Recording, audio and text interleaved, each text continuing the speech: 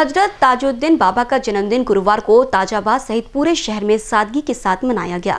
बाबा के दरबार में मत्था टेकने के लिए श्रद्धालुओं का सैलाब उमड़ पड़ा। ताजाबाद परिसर आकर्षक रोशनाई से जगमगा उठा। इसी श्रृंखला में सीताबड़ी व्यापार संकुल ऑनर्स एसोसिएशन की ओर से शुक्रवार को लंगर का आयोजन किया गया, जिस दौरान कोरोना के सभी नियमों का पालन किया गया। हज़रत बाबा ताजुद्दीन औलिया का जन्मदिन हर वर्ष बड़े ही धूमधाम से शहर भर में मनाया जाता है। ताजाबाद सहित शहर के कई इलाके रोशनाई से जगमगा उठते हैं। जगह जगह लंगर का आयोजन किया जाता है। इसी श्रृंखला में शुक्रवार को सीताबर्डी व्यापार संकुल ऑनर्स एसोसिएशन की ओर से लंगर का आयोजन किया गया।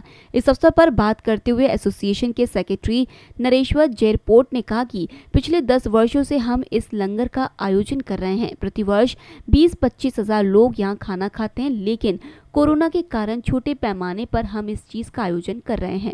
ये जो कार्यक्रम है, बाबा ताजुद्दीन सरकार का जन्मदिन उत्सव जो हम लोग मना रहे हैं पिछले दस साल से, ये प्रतिवर्ष कम से कम बीस से पच्चीस हज़ार लोगों को हम लोग भोजन दान का कार्यक्रम करते हैं यहाँ पर। लेकिन अभी पिछले दो तीन साल से कोरोना प्रोटोकॉल को देखते हुए, उसके नियम के तहत हम लोग ये कार्यक्रम को संक्षिप्त रूप में कर रहे हैं। जिससे कि थोड़ा सोशल डिस्टेंसिंग का ख्याल रखते हुए और मास्क वास्क का सब देखते हुए ये कार्यक्रम को हम एक छोटे से रूप में मनाए रहे हैं इस वर्ष।